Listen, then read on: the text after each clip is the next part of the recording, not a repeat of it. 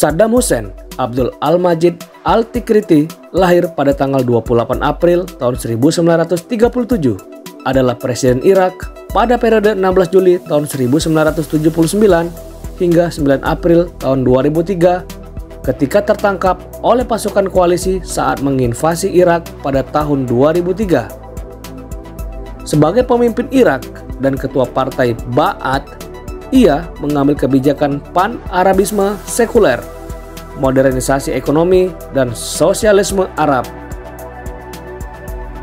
Dalam bahasa Arab, nama Saddam berarti orang yang keras kepala atau dia yang menantang. Di Irak, nama ini juga digunakan sebagai istilah untuk bemper mobil. Nama Hussein adalah nama kecil ayahnya. Abdul Al-Majid adalah nama kakeknya dan At-Tikriti berarti ia dilahirkan dan dibesarkan di Tikrit. Ia biasa dipanggil Saddam Hussein atau hanya Saddam untuk lebih singkatnya. Ia dilahirkan pada tanggal 28 April tahun 1937.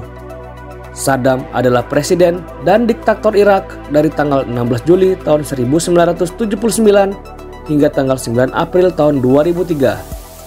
Kekuasaannya berakhir setelah Irak diserang oleh suatu pasukan koalisi yang dipimpin Amerika Serikat pada tahun 2003. Sebagai anggota utama Partai Ba'ath Irak yang menganjurkan pan-Arabisme sekuler, modernisasi ekonomi, dan sosialisme Arab, Saddam memainkan peranan penting dalam kudeta tahun 1968 yang membuat partainya lama berkuasa di negara itu.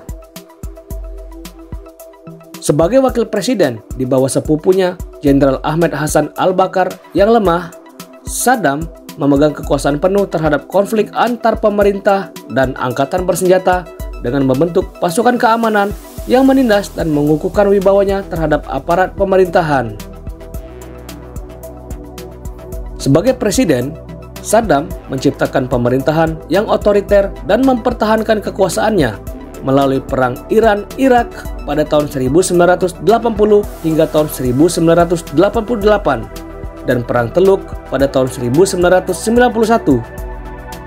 Kedua perang itu menyebabkan penurunan drastis standar hidup dan hak asasi manusia.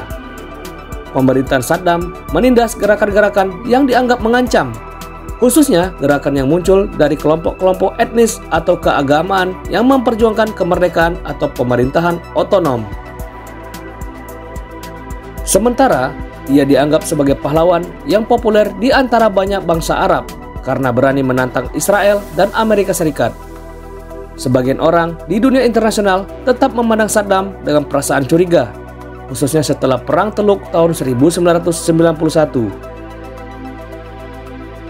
Saddam digulingkan dalam invasi Irak tahun 2003 yang dipimpin oleh Amerika Serikat dan ditangkap oleh pasukan-pasukan AS pada tanggal 13 Desember tahun 2003. Pada tanggal 5 November tahun 2006, Hakim Ketua Raub Rasid Abdul Rahman menjatuhkan hukuman mati dengan cara digantung kepadanya atas kejahatan terhadap umat manusia.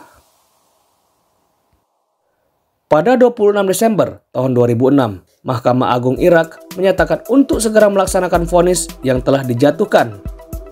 Pada 30 Desember tahun 2006, Saddam dieksekusi.